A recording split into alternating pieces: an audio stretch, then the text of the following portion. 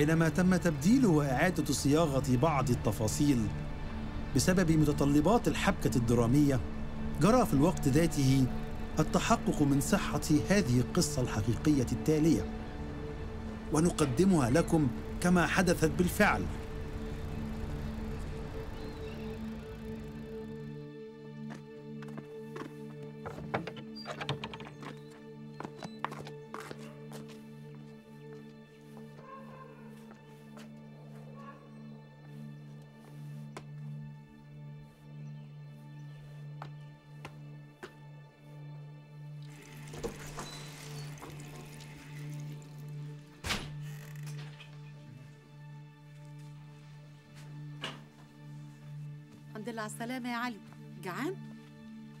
طبعا جعان مش واخدة بالك؟ انت عامية. الأكل لسه بيستوي على البوتاجاز. إيه اللي حصل يا علي؟ الله يلعنك. الأكل سخن كده ليه؟ ما هو لسه بيستوي لسه على البوتاجاز. ولما هو استوى. سايباه على النار ليه؟ مش تخليه يبرد. لسه ما لسه ما استواش. ليه؟ ما ما استواش سبتيهوش يا علي ما تضربنيش. ليه؟ ليه؟ لا يا علي لا. ليه؟ يا علي من فضلك ما استواش. حرام عليك. غورة كنت بضرب مراتي كل يوم تقريبا. ومازال جسمها فيه علامات الضرب. ما كنتش بقدر أمنع نفسي. ما أتكلم عن ضعفاتي بشعر بخجل شديد لكني كنت بضرب مراتي. تقريبا تقريبا آه، كل يوم.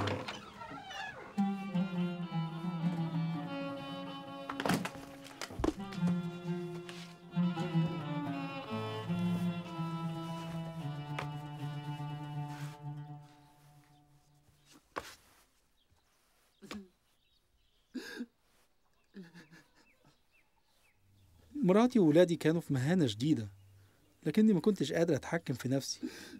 ما قدرتش أوقف نفسي. أحيانا عشان ما أزعلش مراتي كنت بسافر وأسيب البلد. كنت ببعد شهور وأحيانا بالسنين وخصوصا في إسطنبول.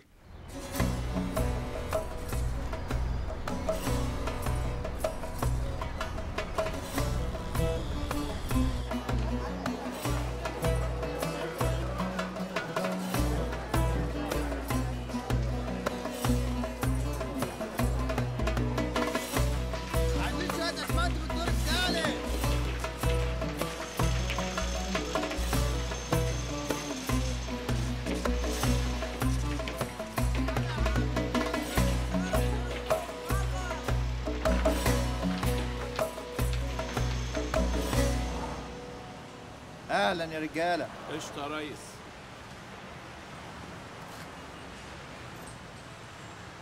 مية مية. الشغل هايل. كملوا.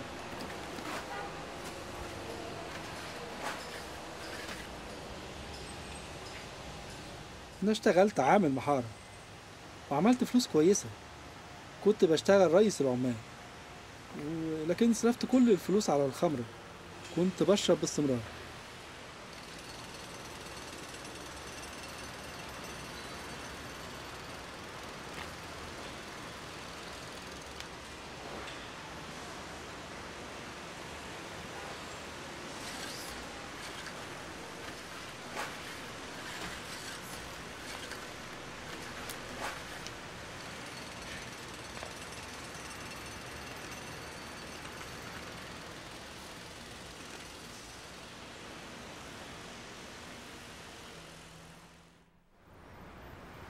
بالإذن يا ريس رايحين نشرب. هتيجي معانا؟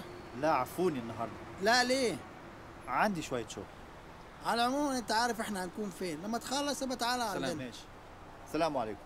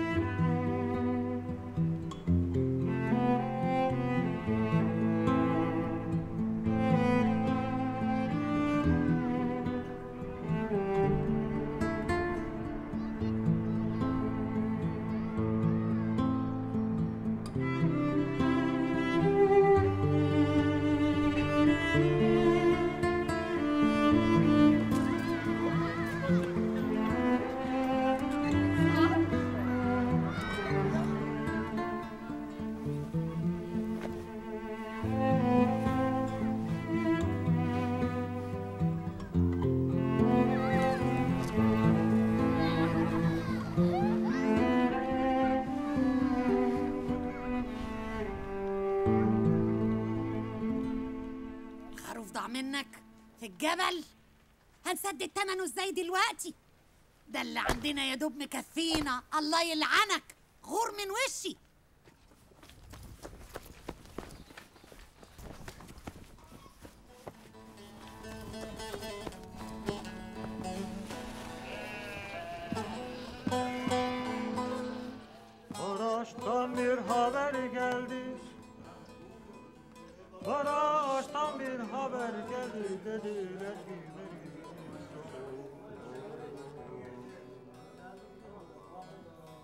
Keşke Melik ölmeseydi تعال عارف Keşke Melik تعال ölmeseydi هات لنا كاسين شكرا مرحبا بالهنا والشفا شكرا شكرا Oy oy Melik Melik Melik Ben kurbanım sana Melik Ben وأنا. كاس تاني من فضلك Melik Melik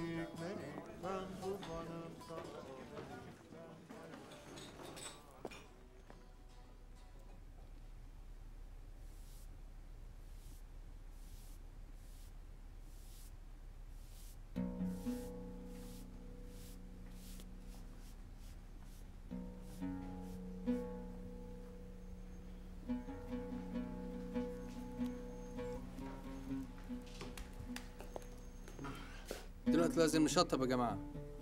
الحساب. خمسين ألف ليرة.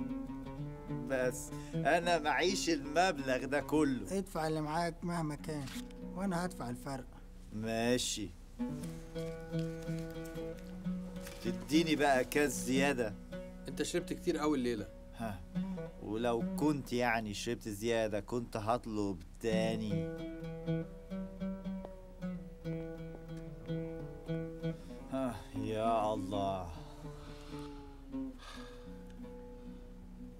أنا عاوزه يساعدني. مين؟ أنا بتكلم معاه كتير. مع مين؟ مع الله يا أخي. إيه؟ بص على الزهور مثلا. الزهور؟ أيوه. بت... بتكبر في التراب والطين ولما بقى تحط لها السباخ بتبقى حلوة قوي بس الريحة بتيجي منين؟ السباخ لا قصدي الريحة الحلوة. الله يستخدم الحاجات الوحشة ويحولها لجمال. الكاس دي على المحل. شكرا. انت بتتكلم مع الله. تتذمر عليه أحيانا. لا. انت محتاج تتكلم مع الله زي صديق. تتكلم معاه زي ما تكون ابنه. هي دي الطريقة اللي أنا بتكلم بيها. أنت فاهم؟ الله بيحب الأطفال. بيحب الأطفال. لكن أنا ما أقدرش أرجع البيت. لأني لما هرجع هضرب هضرب مراتي جامد. وأشرب. أشرب وفي الآخر. أضربها وأنا ناسي اسمي. أنت المفروض تروح السعودية. السعودية؟ الخمور هناك ممنوعة. لازم تبطل شرب. أبطل شرب؟ أيوه هتقدر تتحكم في نفسك. مظبوط تتحكم في نفسك. أنت بتشتغل إيه؟ في المباني. ده أحسن عامل محارة في إسطنبول. تبقى محلولة. هما في السعودية عايزين عمال كتير. ها. وبيدفعوا فلوس كتير. صدقني مش هتقدر تخلص من الخمرة دي بقوتك. خدها نصيحة مني. الله يساعدني. أتمنى كده. الله بيساعد اللي بيساعدوا نفسيهم. يلا يا جماعة كفاية كده النهاردة. خلينا نروح بيوتنا. في الصحة أنا رحت أشتغل في السعودية. الهدف الرئيسي للسفر للسعودية ما كانش علشان أشتغل وأجيب فلوس. هدفي الرئيسي كان إني أبطل شرب لأنهم قالوا إن مفيش خمرة في السعودية. ولما وصلت صحابي عرفوني على أماكن الشرب. هم عرفوني على الأماكن اللي ممكن أرجع أشرب فيها خمرة تاني. ابتديت أرجع أشرب تاني وتاني. الله يساعدنا هنا. على الأقل أنا ما أقدرش أشرب هنا. على كده أنت بطلت شرب؟ أيوه أيوه. ده بالظبط اللي حصل. أنا بطلت. الحقيقة أنت تقدري تجيبي خمرة لكن أنا ما بشربش. الحقيقة من وقت لتاني. في الواقع أنا في مكة. أنا عملت عمرة. وأتمنى إن أنا أحج السنة الجاية. دي أخبار حلوة. مش برضو كده؟ أيوه الحقيقة أخبار كويسة خالص. آه، بس آه، أنت عارفة أي... أيام المدرسة ما اتعلمناش كتير عن الدين. إحنا بس اتعلمنا شوية صلوات بالعربي. أنت فاكرة؟ لكن دلوقتي مختلف. من دلوقتي أنا هبقى مسلم حقيقي يا زهرة. وكمان هبقى أب كويس. زهرة أنا مش عايز أشرب تاني. ز... زهرة؟ ألو؟ ز... زهرة. أيوه. آه. أنا افتكرتك قفلت الخط كمان وحشنا كلنا. وأنتوا كمان وحشيني جدا. بصي وقتي بينتهي. ابقي بصي لي العيال. هترجع إمتى البيت؟ أنا هبعت لكم فلوس ماشي؟ وقت المخابرة انتهى. رجاء محاولة من جديد.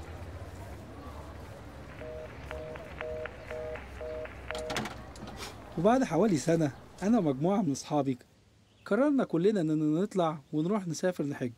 وكنا مجموعة كبيرة. كل أربعة ركبوا في عربية واحدة ومحدش رضي يركب معاه لأني معيش رخصة سواقة وكمان ما كنتش بسوق كويس.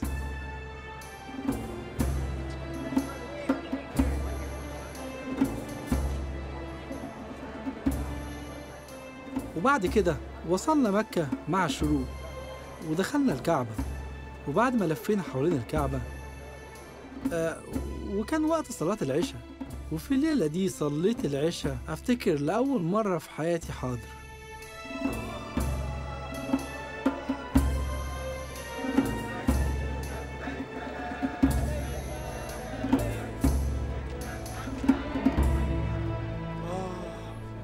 النهارده كان يوم متعب قوي.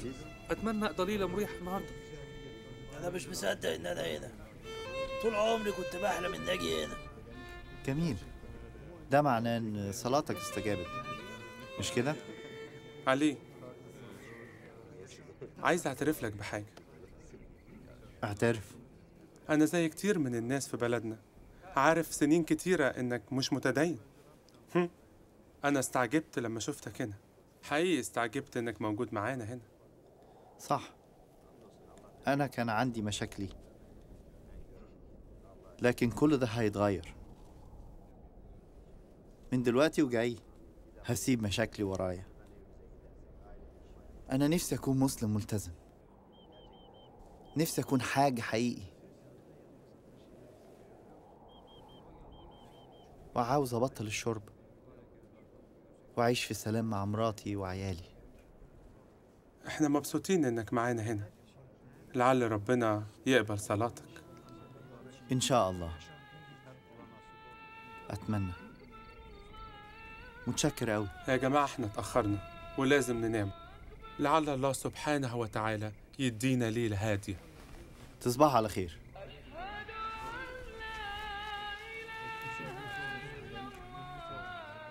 علي هو انت ناوي تنام بره؟ ما تخش جوه معانا. أصل الجو حر قوي جوه. أنا عايز أستريح بره شوية وتصبح على خير. وأنت من أهله.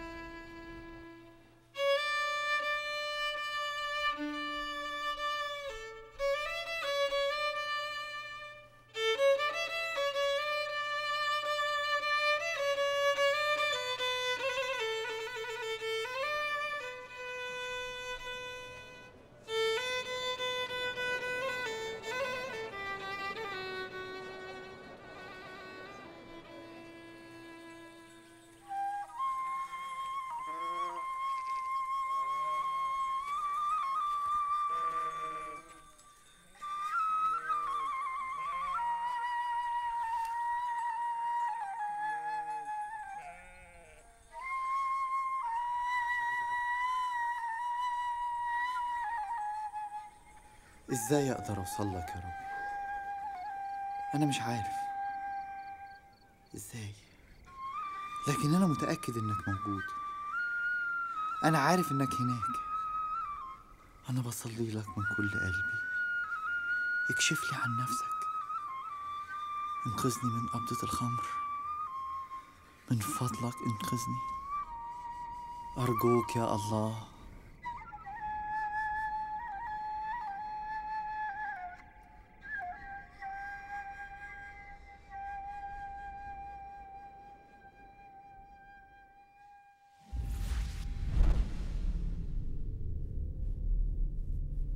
أنت تخصني. أنا عارف أنت مين. أنت عيسى أنا هاخدك معايا.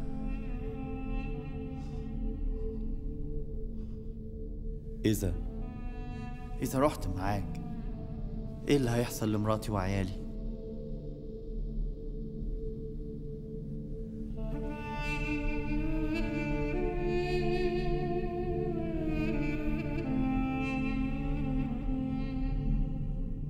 اتركوا المكان ده دلوقتي. أنت تخصني أنا.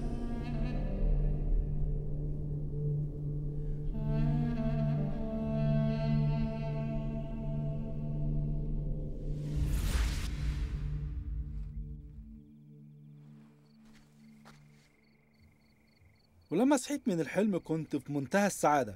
كنت فرحان جدا في داخلي. كنت حاسس إني طاير. أنا جسيت السجادة اللي تحتي علشان أتأكد إني كنت على الأرض ولا في الهوا. كان نفسي أحلم نفس الحلم مرة تانية بس للأسف النوم طار من عيني وما قدرتش أرجع أحلم مرة تانية.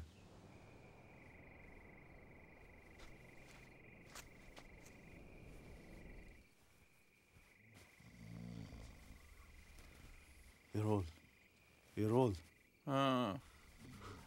أنا شفت عيسى. علي؟ انت بتخرف تقول إيه؟ أنا شفت عيسى جالي في المنام وقف جنبي. انت سامعني؟ أنا مش فاهم انت بتقول إيه.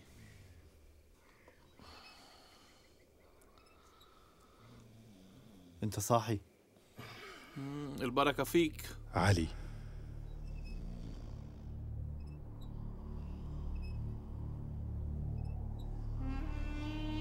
سمعت؟ إيه؟ الصوت. صوت عيسى. صوت إيه؟ بتقول إيه انت؟ الصوت. صوت عيسى.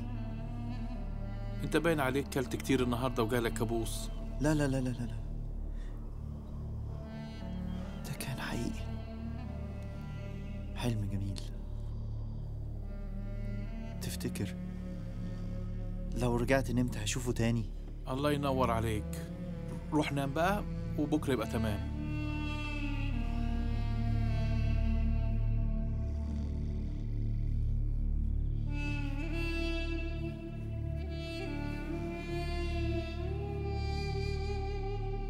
علي انت تخصني أنا. انت مش هتعمل الحج ده. سيب المكان ده. أنا فضلت اسمع صوت بيقول لي امشي والصوت ده خلاني فعلا مضطرب. كنت قلقان يا ترى الصوت ده منين؟ لأني ما قدرتش أرجع أنام تاني في الخيمة بره رحت العربية بتاعتي ونمت هناك لحد الصبح.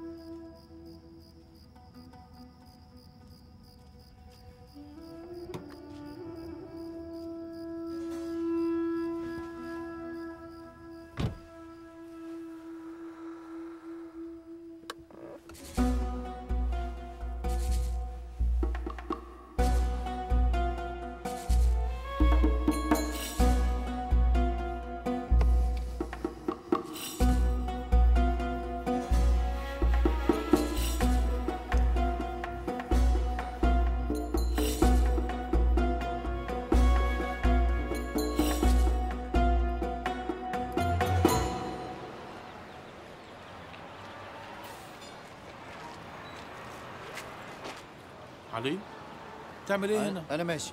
آه، أنا جاي. آه، أنا هخرج من أنت هنا. كنت نايم في العربية ولا إيه؟ أنا رحت أنام امبارح لكن فضلت أسمع الصوت. صوت؟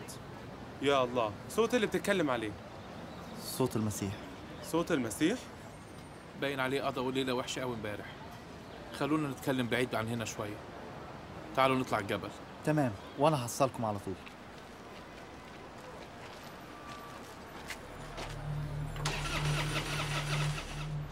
انت مش هتعمل الحج ده. انت تخصني أنا.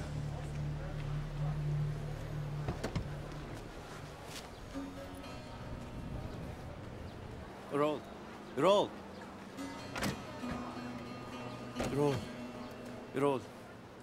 أنا مش هاجي معاكم. انت بتتكلم جد؟ الصوت مصر ان أنا مش من هنا. وأنا هسمع اللي بيقوله. علي.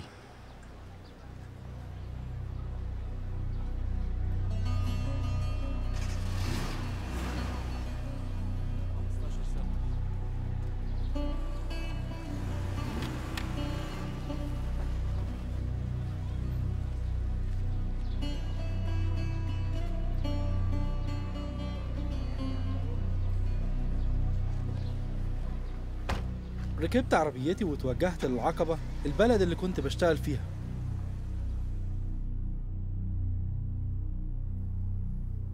ولما وصلت البيت كنت محتاج استحمى ولما أخدت حمامي لاحظت إن نص الشعر اللي في صدري كان أبيض. أنا افتكرت إنه بسبب العرق أو التراب علشان كده حاولت أمسحه وأنضفه بالفوطة. لكن ده فعلا اتحول لأبيض. في اللحظة دي صوت داخلي قال لي هتشوف أكتر من كده بكتير. الحقيقة أنا شعرت بخوف كبير.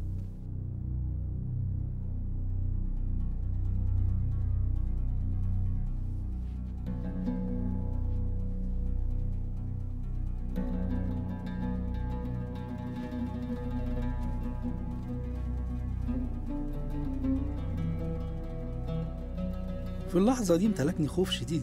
كان نوع غريب من الخوف والممزوج بالفرح. حسيت في اللحظة دي إن الله كان معايا. وإنه هيساعدني. كنت حاسس إنه في الطريق للتحرر من كل عاداتي ومشاكلي السيئة بالذات من الشرب. وبالرغم من رهبة الشعور بحضور الله كان عندي سلام داخلي. لقيت نفسي بنزل على ركبي لكن ما عرفتش إزاي أصلي. ما عرفتش أقول إيه. كل اللي قلته حاضر يا رب. كل اللي أنت عايزه مني هعمله. من اللحظة دي هعمله. أنا هعمل اللي أنت عايزه.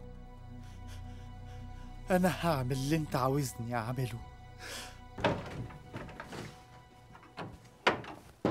في الليلة دي سمعت صوت تاني وقال لي لازم أرجع البيت حالا وبدون أي تردد.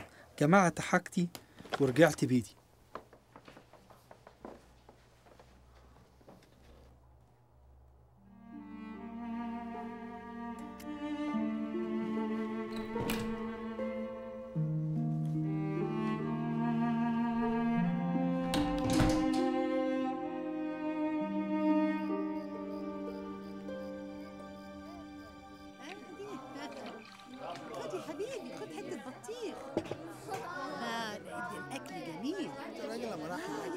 في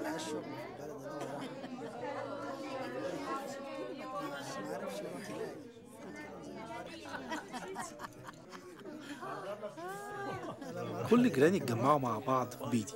في اللحظة دي كنت في منتهى السعادة. برغم إن جيراني عارفين قبل كده إني كنت بضرب مراتي وبضايق أولادي لكن كانوا بيحبوني. في الوقت ده صوت جوايا قال لي قوم اقف على رجلك واتكلم. اسمعوني من فضلكم. آه. أنا عندي حاجة عاوز أقول لكم عليها. وأنا في السعودية شفت عيسى المسيح في حلم. وأنا عاوزكم تعرفوا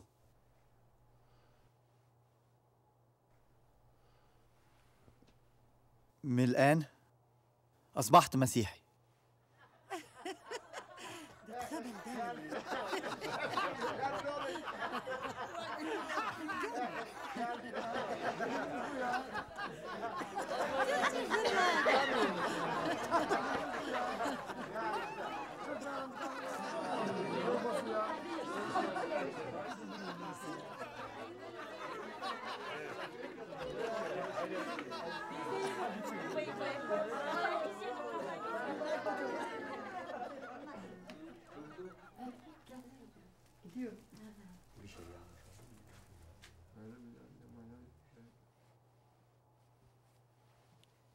يلا يلا يا ولاد وقت النوم جه يلا حبيبي يلا يلا يلا آه.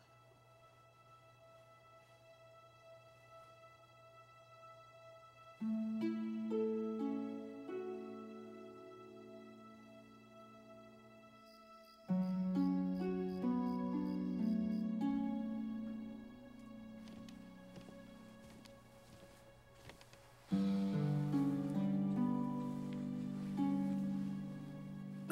زهرة. أنا فعلا أصبحت مسيحي. لكن إزاي؟ إزاي الواحد يبقى مسيحي في السعودية؟ وأنا هناك. عيسى ظهر لي في حلم. حلمت إن عيسى جالي ولمسني. حسيت إنه غير لي قلبي. حسيت إنه إداني فرح غير عادي. هو قال لي إن أنا ملكه هو. أنا حسيت بحب للمسيح.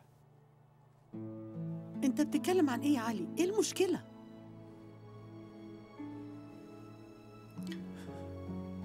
زهرة أنا بحبك جدا. أنا طول عمري بحبك.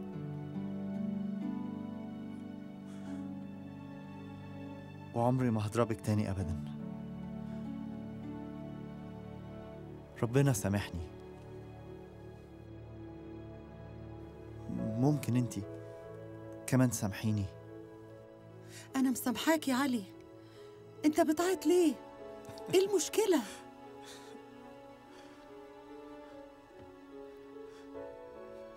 يا زهرة أنا بقيت مسيحي لكن أنت مش مسيحية. هنعمل إيه دلوقتي؟ ها؟ هنعمل إيه دلوقتي؟ هنعمل إيه دلوقتي؟ ما تخافش يا علي إذا أنت بقيت مسيحي هبقى أنا كمان إيه؟ في الليلة دي بيتي كان مليان سلام بالرغم لا أنا ولا مراتي كنا نعرف أي حد مسيحي معرفناش نعمل إيه لكن أنا احتجت إن أشتغل. علشان كده قررنا إني لازم أرجع أشتغل شغلانتي القديمة كعامل محارة. إن هو جاني في الحلم ولمسني هو أنت بتقبض فلوس عشان تقعد ترغي؟ مش هنخلص الحيطة في يومنا النهارده ولا إيه؟ أيوة. عندك حق يا ريس. أنا فعلا كنت بتكلم. كنت بحكي عن المسيح. كنت بحكي لصاحبي إن المسيح جاني ولمسني وغير كل حياتي. وإذا كنت عاوز أقدر أحكي لك القصة كلها. أنا ما عنديش وقت للكلام ده. ولا أنت كمان. يا تشتغل بذمة يا هتترفد حاضر. ما تقلقش يا علي أنت أجدع واحد بتشتغل الشغلانة دي. ولكن في النهاية برضو اترفدت وبعد كده لقيت شغلانة تانية واترفدت تاني. كنت بلاقي شغل لكن ما كنتش بقدر احتفظ بيه لوقت طويل. رغبتي إن أحكي للاخرين عن اللي عمله المسيح معايا في حياتي وأحاول أوصل لهم كان أهم عندي من الشغل ومن كل حاجة. وعلشان كده ما عمرتش في ولا شغلانة لمدة طويلة.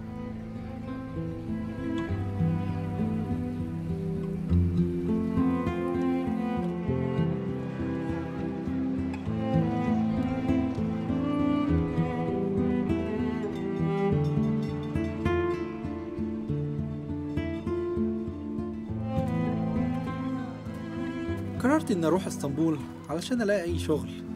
سنتين بعد أول مقابلة مع المسيح. لسه ما قابلتش حد مسيحي ولا قريت العهد الجديد.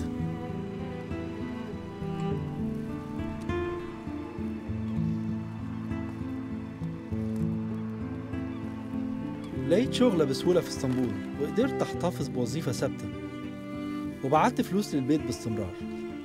ولما كلمت مراتي في التليفون فضلت تعيط وقالت لي إنها محتاجاني. وإن وحشت العيال قوي. وده سبب مضايقة كبيرة. علشان كده رجعت أشرب تاني.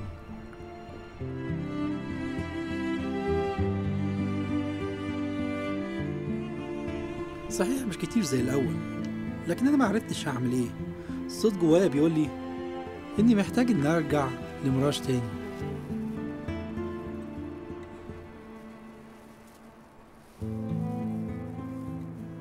في اللحظة دي حسيت إن المسيح لمسني على جبيني أنا كنت عارف إنه هيساعدني أرجع لمراج تاني.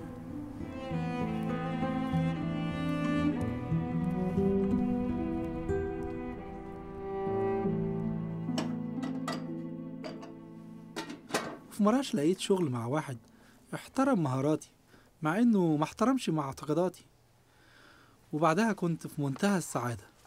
أهلا يا زهرة. أهلا.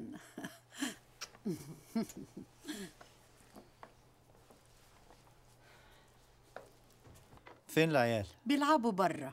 عاوزاني اطمن عليهم؟ لا لا لا لا ملوش لزوم. ماشي ماشي. خلي الأكل يستوي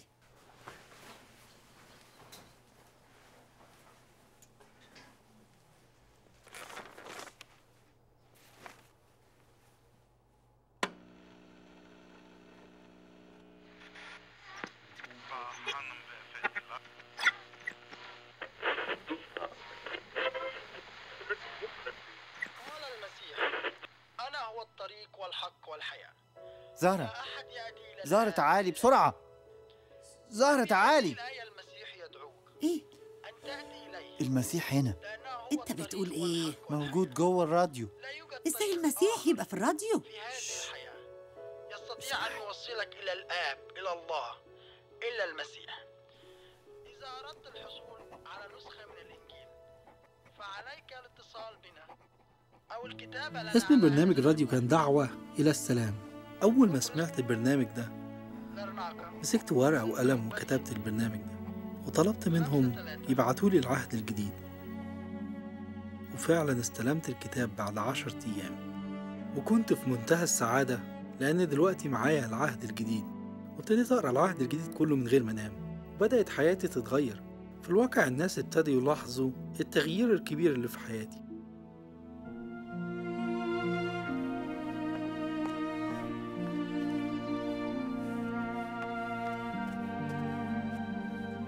وأنا الآن بدعو كل الناس لبيتي وبسأل كل واحد هذا السؤال. هل أنت فعلا عايز تشوف السماء؟ وإن كنت عاوز تعال لبيتي. زهرة الشاي ده حلو قوي. ما يقدرش علي يستدرك جوزي عشان يقرأ كتاب. بالهنا والشفا. مفيش لزوم حد يستدرك حد. الله نفسه اللي بيجذبنا بحبه. أكيد علي هيتكلم مع جوزك. إذا ما كانش اتكلم معاه فعلا. علي فعلا اتغير وبقى إنسان جديد. صحيح الواحد صعب يصدق. أنا عشت طفولة صعبة جدا. حسيت إني مرفوض وغير محبوب من عيلتي حتى لما كنت بشتغل راعي غنم.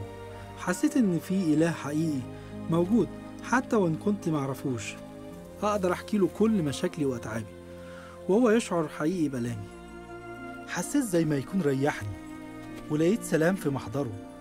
هو ممكن يسمع بالساعات لأتعابي ومشاكلي. حلم. غير حياتي لأني كنت بدور على الخلاص وأنا لقيت الخلاص في الرب يسوع المسيح. علشان كده أنا بقول لكم يا متعبين ويلا عندكم معاناة دوروا على الإله الحقيقي وارموا كل مشاكلكم عليه.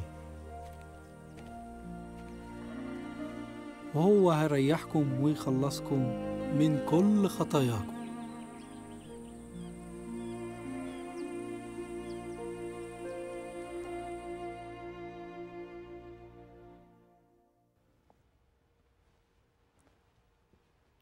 عزيزي المشاهد هذه القصص التي شاهدناها هي قصص حقيقية وليست من نسج الخيال.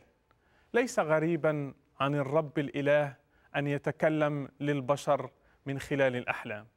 وهذا يذكرنا بقصة معروفة قصة يوسف كيف كلمه الله من خلال الأحلام. وما زال الله الذي هو هو أمس واليوم وإلى الأبد يتكلم لأناس كثيرين بأحلام ورؤى. لكن هذا لا يعني أن الله يتكلم للناس بطريقة واحدة فقط بل يتكلم بأنواع وطرق كثيرة. عزيزي هل تعلم أن الخطية هي أصعب سم ممكن؟ إنها أكبر اذى لحق بالإنسان. لكن هناك دواء يضمن لك الشفاء الأبدي وهذا الدواء هو قبول الشافي أي يسوع المسيح تقبله مخلصا شخصيا في حياتك. عزيزي المشاهد إن موت المسيح على الصليب هو تحقيق لصفتين إلهيتين صفة عدل الله وصفة رحمة الله. فإذا رفضت الخلاص أنت تضع نفسك تحت دينونة لأن الكتاب يقول بأن من لم يؤمن بالمسيح يضع نفسه تحت الدينونة. أما إذا قبلت رحمة الله في المسيح وفداءه فتصبح ابنا لله بالتبني ويصبح الله ابا لك. حيث يقول الكتاب فجميع الذين قبلوه أعطاهم سلطانا أن يصيروا أولاد الله أي المؤمنون باسمه. هكذا أيضا صارت لك حياة أبدية منذ الآن. فالمسيح يقول إن من يسمع كلامي ويؤمن بالذي أرسلني فله حياة أبدية ولا يأتي إلى دينونة بل قد انتقل من الموت إلى الحياة. وقال أيضا ها أنا ذا واقف على الباب وأقرع. إن سمع أحد صوتي وفتح الباب أدخل إليه وأتعشى معه. وهو معي. عزيزي المشاهد صلي معي هذه الصلاة من قلبك. قل معي أيها الرب يسوع أشكرك لأنك صرت رحمة من الله لي. أشكرك لأنك مت من أجلي شخصيا على الصليب وأخذت عقابي عني أنا الإنسان الخاطئ. فاغفر لي خطاياي. أنا أقبل فداءك وأدعوك إلى أن تدخل قلبي وحياتي. اجعل روحك يسكن في واجعلني ابنا لله. أعني حتى أحيا حياة طهارة وقداسة تليق بالله القدوس. حتى أمجدك في كل جانب من جوانب حياتي. أشكرك لأنك استجبت لصلاتي. آمين. عزيزي بعد أن صليت هذه الصلاة ثق بأن الله قد سمع صلاتك.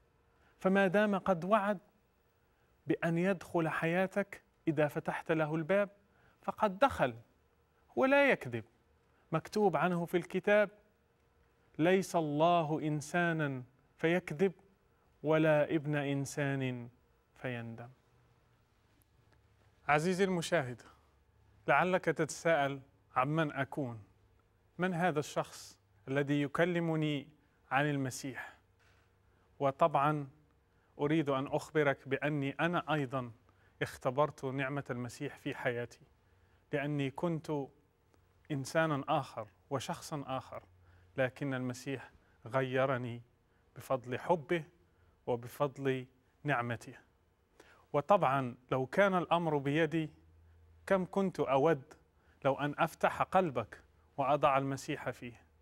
لكن ليس الأمر بيدي الأمر يعود لك اولا وأخيرا. سأبدأ تعريفك بنفسي. أنا من خلفية مسلمة. كبرت في أسرة متدينة. تعلمت أصول الدين الإسلامي منذ الصغر. أبي كان حريصا جدا على أن يعلمني مبادئ الدين الإسلامي.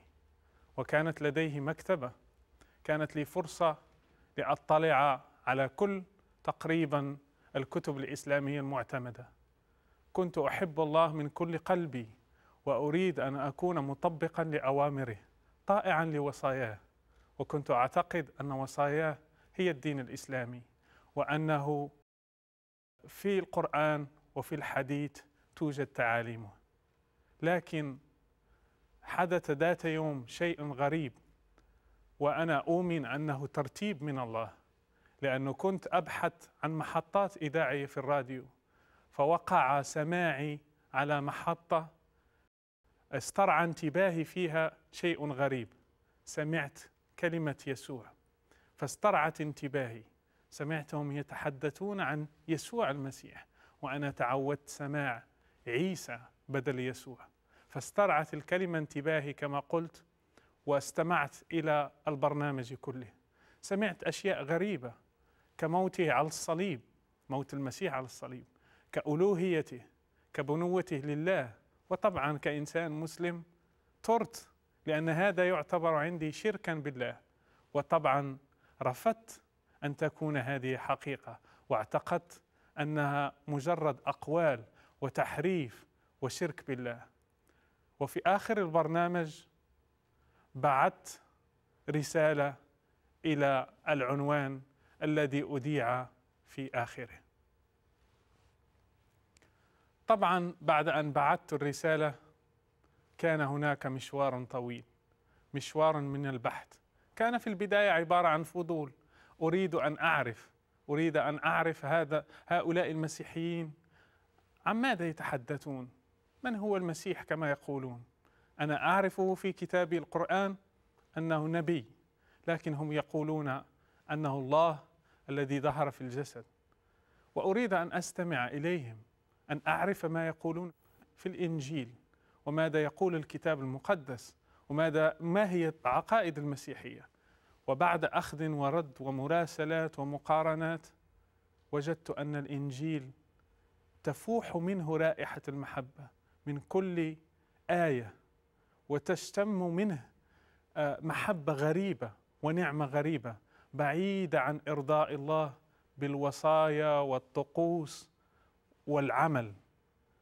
وجدت أن المسيح هو الحل الوحيد للخطية قرأت أشياء كثيرة.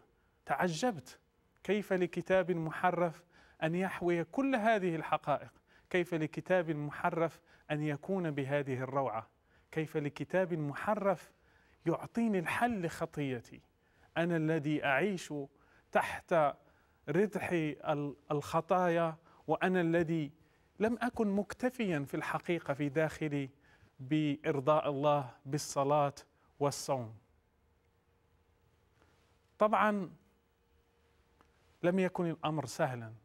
ليس من السهل أن يتخلى الإنسان عن عقيدة تربى عليها وترعرع فيها. كانت مشاعر كثيرة تدور في في في قلبي وأفكار كثيرة تتصارع بعقلي. كنت أقول كيف يعقل أن يكون المجتمع الذي أعيش فيه خاطئا؟ كيف يعقل أن تكون أسرتي خاطئة؟ كيف يعقل أن يكون القرآن خاطئا؟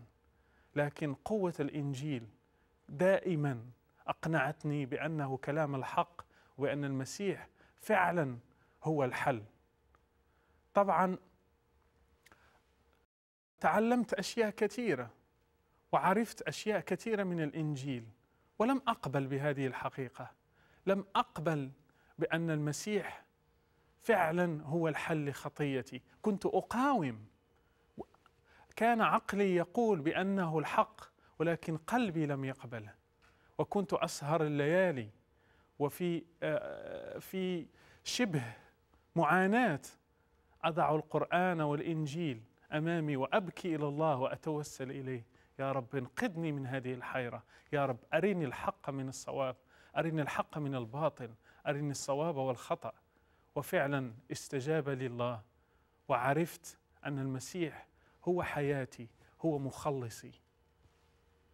وطبعا عندما آمنت بالمسيح وقبلته حل فرح غريب بقلبي حل سلام عجيب بحياتي. فصرت أنا الذي كنت أريد أن أحافظ على الطقوس وأقوم بالصلوات والأعمال لإرضاء الله. كنت أشعر براحة لا أحتاج إلى كل هذا لإرضاء الله بل أحتاج فقط لقبول هديته المسيح على الصليب. هذه هي الهدية التي أعطاها لي الله وما علي إلا قبولها. أما الأعمال فتأتي نتيجة لهذا الإيمان وهذا ما صار. طبعا كانت هناك معاناة لم يكن الأمر سهل. كنت أعتقد أني الوحيد الذي اكتشف هذه الحقيقة وكنت أبحث عن أناس مثلي. لكن الله رتب أن أحدهم بعث لي رسالة من أخذها من هذه الإذاعة وأخبرني أن هناك مجموعات أخرى مثلي وذهبت إلى هذه المجموعات وعرفت أنها تسمى كنيسة وعلموني أشياء كثيرة تعلمتها منهم وشجعوني وانضممت لها وطلبت المعمودية. وكانت هذه من أروع اللحظات التي أتذكرها الآن في تاريخي. أتذكر كيف كانت فرحة الإيمان فرحة اكتشاف شيء جديد فرحة اختبار حياة أخرى بعيدة عن الحياة التي عشتها من قبل. وفعلا صرنا إخوة صرنا جسد واحد يشجع بعضنا البعض. وطبعا كان كانت ولا زالت حياتي مع المسيح مستمرة إلى يومنا هذا. فالمسيح كما قلت صار هو حياتي صار هو رفيقي في الدرب.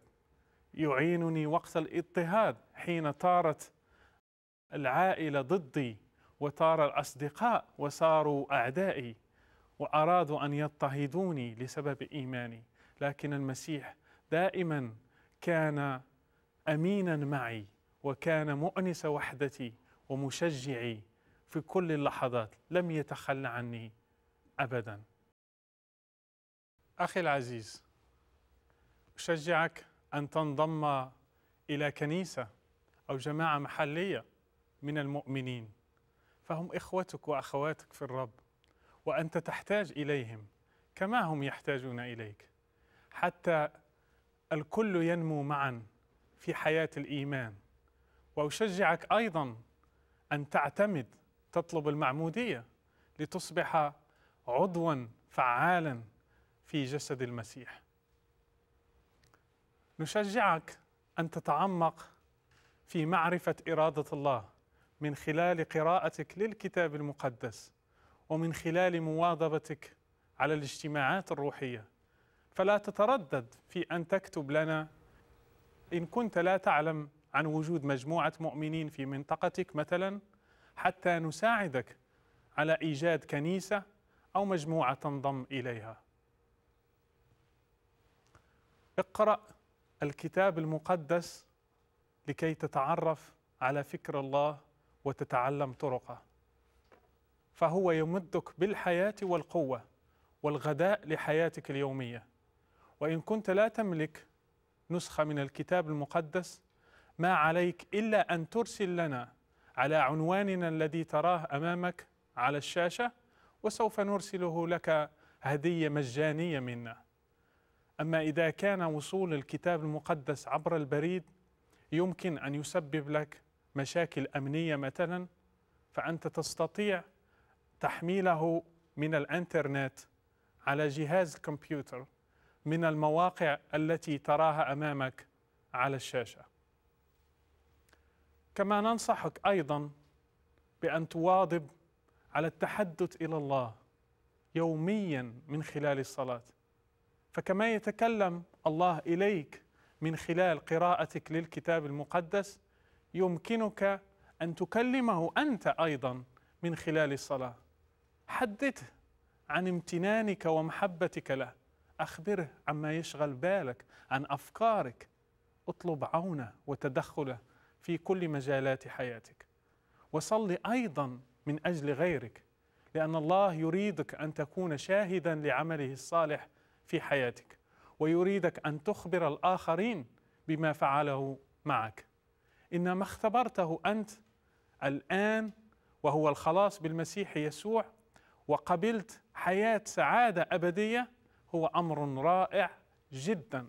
لذلك نشجعك أن تشهد للمسيح لكن حذاري لا تعرض نفسك للخطر لذلك ننصحك أن تراسلنا وتشاركنا بكل تساؤلاتك حتى نساعدك على إيجاد الطريقة المناسبة لمشاركة الآخرين. عزيزي المشاهد، مثل هذه البرامج هي برامج مهمة جدا لإخبار الآخرين عن يسوع المسيح ولنموك الروحي أيضا. لذلك نشجعك أن تسجلها أو تنسخها مثلا على أقراص مدمجة أو شرائط فيديو وتهديها لأصدقائك ومعارفك.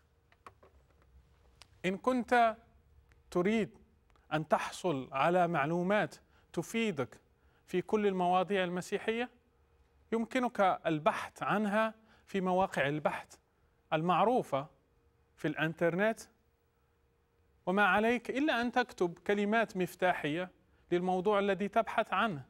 فستجد الكثير من المواد ويكون لديك الكثير من الاختيارات. والآن نهاية لكلامي. أود أن أهنئك على إيمانك على هبة الإيمان والنعمة التي أعطاها لك الله. وأطلب من الله عز وجل أن يحفظك من كل شر وشبه شر. والرب معك. آمين.